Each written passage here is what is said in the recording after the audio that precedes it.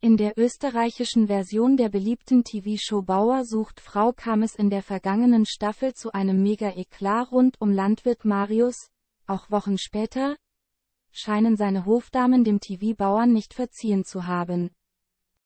Bauer sucht Frau, Skandal in Österreich. In Deutschland feierte die beliebte Dating-Show Bauer sucht Frau im vergangenen Jahr ihre große Jubiläumsstaffel. Dabei fanden wieder zahlreiche Landwirte mit der Hilfe von Moderatorin Inka Bause die große Liebe. Auch in Österreich machten sich beim gleichnamigen Pendant im letzten Jahr wieder einige TV-Bauern auf die Suche nach einer passenden Partnerin, unter ihnen auch Landwirt Marius. In der TV-Show mit Arabelle Kiesbauer entschied sich der Dating-Show-Kandidat dazu, seine auserwählten Bozener, Babsi und Felici besser kennenlernen zu wollen. Nach dem Hoffest mussten die Frauen allerdings eine bitterböse Überraschung verkraften. Bauer sucht Frau, falsches Spiel enthüllt. Anstatt mit Marius in die nächste Phase des Kennenlernens zu starten, erwischten die auserwählten Damen ihren Traummann mit einer anderen Frau namens Melanie im Bett. Die beiden Turteltauben offenbarten, dass sie sich bereits seit 20 Jahren kennen würden. Marius erklärte. Sie hat mich nie gewollt.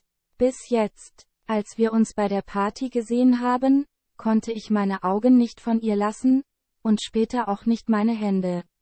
Melanie und ich, wir sind uns einfach passiert. Die Ausreden und Erklärungsversuche kamen bei den Hofdamen allerdings nicht besonders gut an.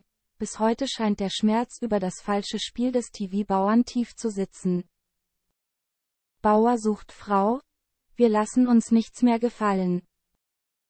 Bereits vor dem Wiedersehen mit Arabelle Kiesbauer ließen die drei Frauen ihre Wut über den Landwirt an einer selbstgebastelten Marius-Stoffpuppe aus, wobei Beschimpfungen und Beleidigungen jeglicher Art flogen. Bozener erklärte, ich weiß nicht, ob ich ihn überhaupt noch angucken und Hallo sagen möchte. Alle drei waren sich jedenfalls einig, wir lassen uns nichts mehr gefallen. Also die Frauen schlussendlich erstmals wieder auf Marius treffen, welcher auch Melanie dabei hat, gibt sich auch Babsi schlagfertig. Es wird Pfeffer geben.